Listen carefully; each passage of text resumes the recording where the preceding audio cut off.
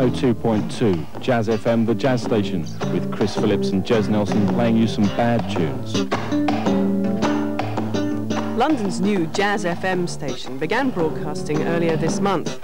The station's co-founder, Dave Lee, explained why he thought now was a good time to start. Something new has happened in this, in this town because young people have turned to jazz. We have bebop discos. We have young DJs like Gilles Peterson who have created, maybe he did it, I don't know, but he certainly reflects an enormous interest among young people. So we're going to have uh, to cover the age groups from maybe 17 to about 77, from country blues right across to the most avant-garde jazz.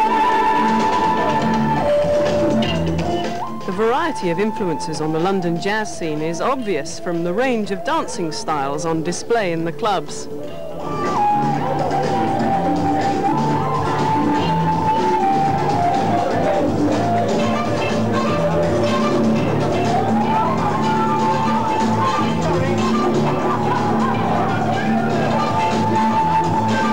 DJ Gilles Peterson explains further. We've got a whole kind of new, fresh, original dance thing happening here, which takes moves from the past, Nicholas Brothers, trained movements from ballet, but it's also merging that with hip-hop and house moves and coming up with something totally original and exclusive, and that's great, you know. So the dance thing is uh, one of the most important things about what's happening in this country, and it's really important that some of the bands that are coming through are going to be performing with dancers, not choreographed, freeform.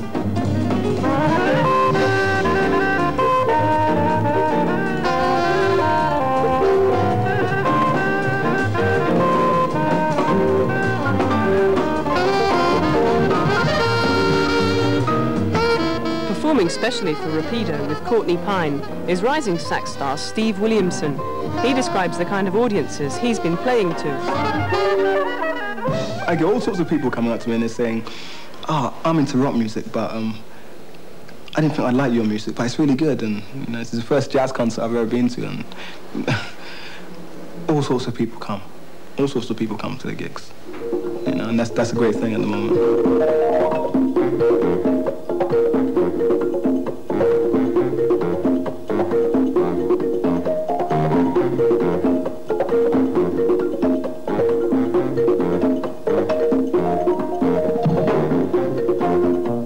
Courtney Pine, comfortably established as a world-class performer, believes his music has a British identity.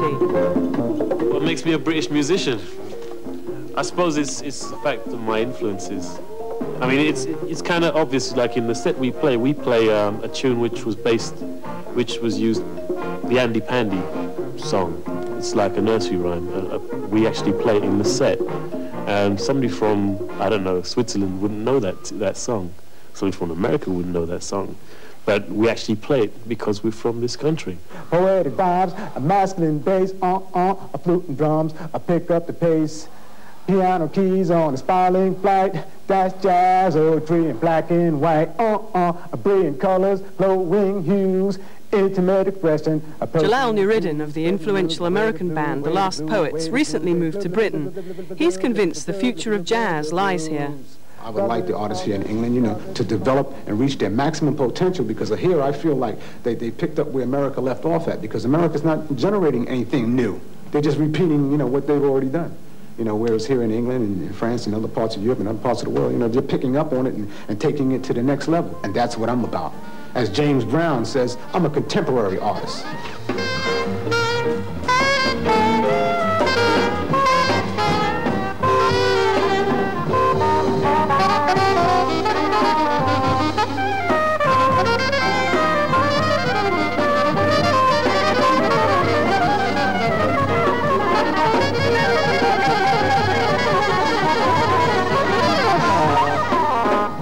The really nice thing about it. You can't really pigeonhole the crowd.